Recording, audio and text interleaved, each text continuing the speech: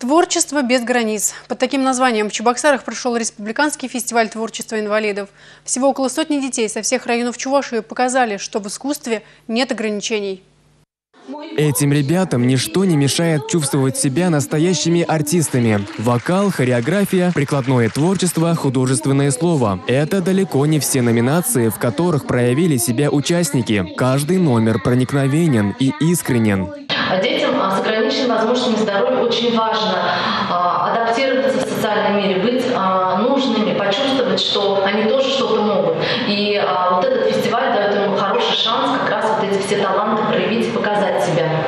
Подобный фестиваль состоялся впервые. Творчество для этих ребят – это не только приятное времяпровождение и способ выразить себя, но и новые знакомства. Язык не поворачивается назвать их людьми с ограниченными возможностями. Азарт, энергия и мастерство. Таланты не имеют границ. Рифат Фаткуллин, Владимир Галожев, Республика.